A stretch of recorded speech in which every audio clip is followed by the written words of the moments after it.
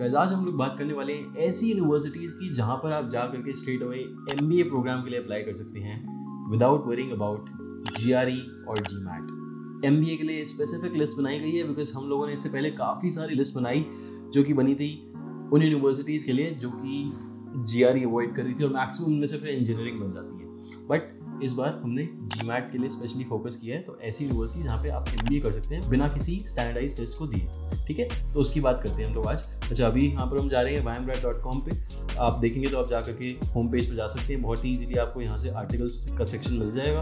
Articles का section जाते ही यहाँ पे आप देख सकते हैं M B A programs waiving G in U S A for fall spring twenty twenty three इसकी हम बात करने वाले हैं आज, ठीक है?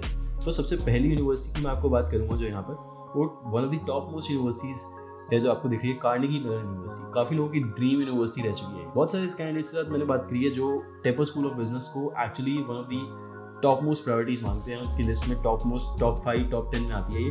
और यहाँ पर आपके जो जितने भी देखेंगे ना, आप एमबीए में जब जी मैट वेवर्स की बात होती है they are usually all conditional तो कैसे कंडीशनल है, मैं आपको ये बताया था। The condition over here is that the way will be granted on a case by case basis the application committee will take a holistic overview of your application इसका मतलब है कि आप उसमें आपको कोई कॉन्ट्रीब्यूशन नहीं करना है एज सच आप उनको बस बोलोगे कि भाई मैंने जी नहीं दिया है, और हॉलिस्टिकली आपकी एप्लीकेशन को व्यू करा जाएगा उस केस में, और अगर आपकी एप्लीकेशन की क्वालिटी अच्छी है उस केस में आप पे वेवर अप्लाई हो जाएगा। यहाँ पर अगर आप ध्यान से देखेंगे तो आपको ये भी दिखेगा कि यहाँ पर लिखा हुआ है कि after submitting the request for the waiver आपने रिक्वेस्ट डाल दी, उसके बाद आप 10 बिज़नेस डेज़ के लिए वेट करेंगे, आपको सी खुद ही बता देगा कि आपको वेवर मिला है कि नहीं मिला है। तो आपको ऐसे ही अप्लाई नहीं कर देना है। आपको पहले वेवर के लिए अप्लाई करना है, आपको अपने सारे एप्लीकेशन मटीरियल अपलोड करना होता है। और अगर आप किसी कंसल्टिंग टीम के साथ काम करें या you working with us also we can make that happen for you as well और आपकी एप्लीकेशन क्वालिटी इतनी अच्छी होनी चाहिए और हॉलिस्टिकली आपकी प्रोफ़ाइल इतनी अच्छी होनी चाहिए जिसके बेसिस पर आपको वेवर मिलेगा। ठीक है?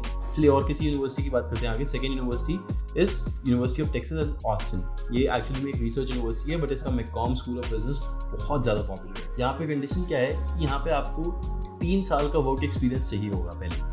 आपने अगर अंडर ग्रेजुएट कर लिया, उसके बाद तीन साल का वर्क है आपके पास, जो कि आपका रेलिवेंट वर्क एक्सपीरियंस है तो यहाँ पर उसके हिसाब से आपको बेसिकली वेवर के लिए कंसिडर करा जाएगा।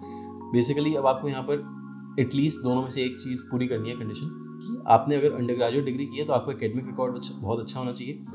आइडियली विद एनालिटिकल और क्वान्टिटेटिव कोर्सेज होने चाहिए उसमें। Basically your elective should be quantitative और analytical and that's they will be looking for on priority basis next अगर आपने ग्रेजुएट डिग्री की है तो आपका रिकॉर्ड तो स्ट्रॉन्ग होना ही चाहिए academic again same thing preferably in analytical और क्वांटिटेटिव डिसिप्लिन इन्होंने साफ़ साफ़ लिख दिया, अगर आपकी जीपीए थ्री या थ्री से ऊपर है थ्री आउट ऑफ़ फोर मतलब कि या उससे ऊपर है तो आपका हाई चांस है फेवर के अप्रूवल का. ठीक है? थर्ड यूनिवर्सिटी है आपकी इंडियाना यूनिवर्सिटी सिमिलर यहाँ पर भी इसके आप देखेंगे तो आपको कंडीशन मिलेगी. The admission committee will assess an individual solid academic record in prior undergraduate and graduate degree additionally will pay particular attention to the successful completion of quantitative and analytic coursework. आप देख रहे हैं, यहाँ पे एक pattern है। हमेशा qualitative और एनालिटिकल स्किल्स की बात करी जा रही है। हमेशा एक अच्छे जीपीए की बात करी जा रही है।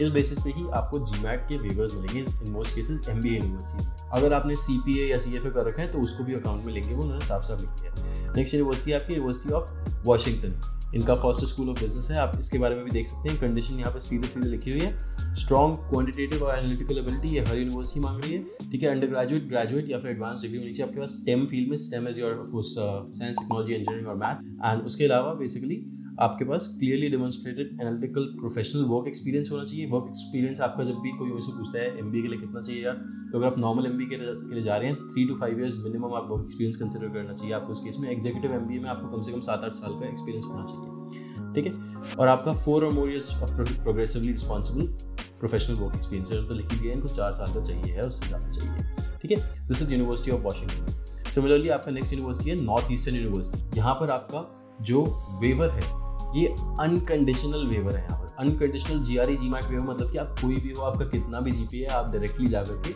नॉर्थ ईस्टर्न यूनिवर्सिटी का जो D'Amore McKim School of Business है, आप उस पर अप्लाई कर सकते हैं। और इसमें कोई भी आपको कंडीशन नहीं पूरी करनी है, यहाँ पर आपको कोई भी जीपीए नहीं मेंटेन करनी है, कोई इलेक्टिव नहीं होना चाहिए, कुछ ऐसा है ही नहीं। आप कोई भी हैं, आपने कोई भी बैकग्राउंड है आपका, आप अप्लाई कर सकते हैं बस ठीक है?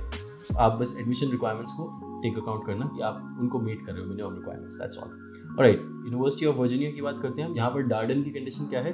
The candidates waiver request will be accepted on a case by case basis mainly it depends on individual strong academic and professional accomplishments that will add to their overall probability of bagging a waiver again यहाँ पर चाहे इन्होंने basically यही लिखा हो कि हम case by case basis पे देखेंगे होलिस्टिकली देखेंगे पॉइंट यही है कैसे इवेल्युएट करेंगे, बाकी स्कूल्स ने आपको बता दिया है किस तरीके से वैल्यूएशन होता है ऊपर। ठीक है ना? नेक्स्ट की बात करते हैं हम यूनिवर्सिटी ऑफ़ मिशिगन यहाँ पर। यूनिवर्सिटी ऑफ़ मिशिगन में बेसिकली कंडीशन ये आती है, an aspirant needs to demonstrate his or her readiness for the program by conveying the reason behind the test waiver through a well curated essay. मतलब आपको यहाँ पर एक essay सबमिट करना होगा कि क्यों आपको वेवर दिया है एसेंशियली आप समझ रहे हैं कि आपने टेस्ट नहीं दिया तो आपको उसको समझाना होगा कि बेसिकली आपने टेस्ट क्यों नहीं दिया है? और उसी को आप एक ऐसे में समझाएँगे और उस बेसिस पे बेसिकली आपको वेवर दिया जा सकता है। यहाँ पर भी कंडीशनल है। रिमेंबर अगर आप हमारे साथ काम करें if you working with us for the MBA version of the complete application help we help you end to end, all of your drafts will be done by ivy league graduates. If you're interested, you can actually go on to the services page over here and I'll just continue the video in one moment. I just have to do a little bit of advertisement over here. I hope you don't mind. But yeah, uh, Kami Anyway, so I'm going on to the service page and I'll show you the complete application hub. So this is the complete application hub. Everything right from your admissions to your scholarships to your visa is covered within this service.